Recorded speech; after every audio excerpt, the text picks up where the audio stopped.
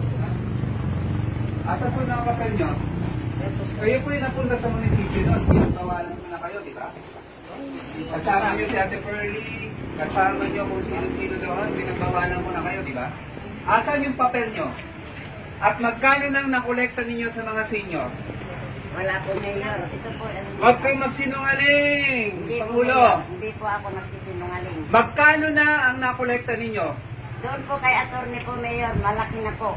Hindi po sa attorney ito. Maski na ho, attorney o sino man. Alam niyo ba kung magkano ang naloloko sa inyo? Sa Batangas, meron ting ganito. Namatay na lahat ng senior citizen, kinolektahan, walang nakuha. Bakit gin, ba, niloloko niyo yung mga senior citizen? Kayo po.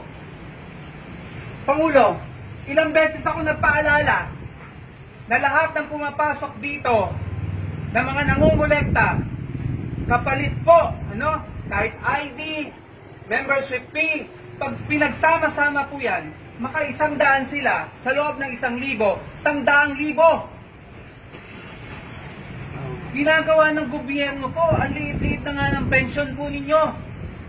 Tinutulong namin sa inyo, pensyon ninyo, 600 pesos na lang. Dinadala nyo pa kung saan. Nagpapaloko kayo. Sino po mga kasama ninyo? Sir, sa tutulan ko, hindi po ako nagpunta doon. Sa munisipyo na sinasabi. Kahit sino pa ho, dapat din ho nagpunta kayo sa barangay o sa munisipyo bago kayo nangolekta. Mas illegal po ang ginagawa ninyo. Po. Asan po ang mga papel ninyo? Dadaan natin sa legal na proseso. Pero sa lahat ng ayoko, niloloko mga tao namin, lalo na mga senior citizen. Dahil mahirap na ho ang buhay dito sa Linganan. Maliit ho ang pensyon ng mga senior citizen. Asan po ang mga papel? Amin na ho mga papel. Ilan ho ang nakolekta sa inyo, Pangulo? Wala po, Mayor. Wala po talaga. Anong wala ho? Ano yung sinasabi nyo? Eh, attorney po, Mayor, mayroon po. Sino ang attorney? Attorney Susan Marcos po. Marcos din. Ito, ano naman Hindi ito? po Marcos po ito, Mayor. Ano ito? Pamana po, worldwide po. Oh, anong worldwide pamana? Anong sinasabi sa inyo dito? Magkano ibabayad ninyo? Wala po. Member lang po ang... Magkano membership fee? Wala po. Wala po. Ang pagpirma po nila sa form mayor, wala pong bayan. At wala po kami kinukulit na sa kanila. Hindi ho ah. Papaimbestigahan ho natin to. Hindi ho pwedeng ganito. Paulit-ulit na ho tayo dito eh.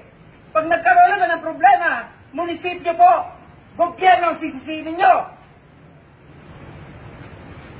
Na magbibigay, naniniwala tayo doon, walang money, walang milyon. Pag nag-member po niya, ano po ito? Sino-sino po kayo? Sige po, sino-sino ito? Ha? Worldwide Movement Development Divinity. Ano ho ang purpose nyo dito sa Linganan? Ano ang purpose nyo dito sa Ibuna? Ha? Huwag nyo sabihin ha? Hindi ho kami mga tanga. At lahat hindi ako tanga. Huwag nyo sabihin walang involved na pera dito. Magpapakahirap kayo, wala. Sige po, ipaliwanag nyo yan. Ilan ho kayo dito? Kami lang. Taga saan ho kayo? San Jose Nueva Ecija? Asan ho yung ID ninyo? Patingin ho ng mga ID. Amin ho lahat ng ID ninyo.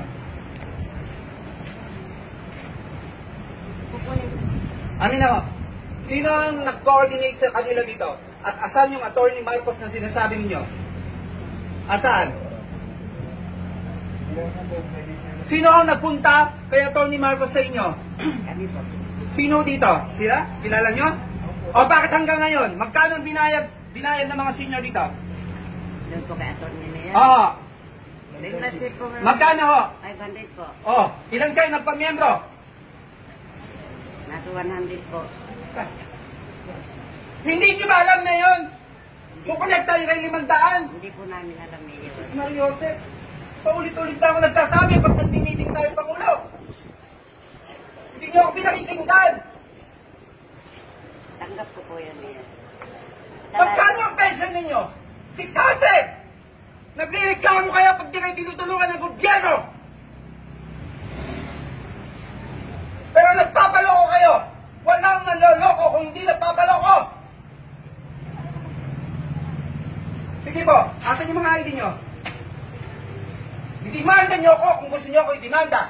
Kahit saan tayo makarating. Protection po ng mga kababayan ko, pinaglalaban ko.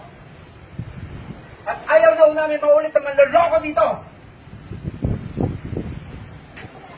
Asa pa po?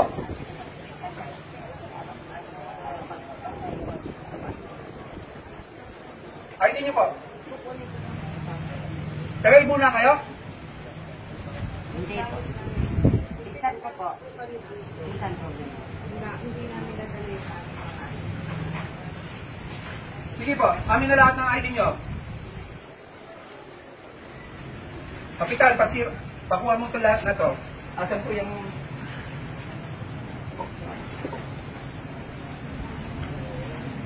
Ano ang kaugnayan ninyo? Mga NCIPO ba kayo?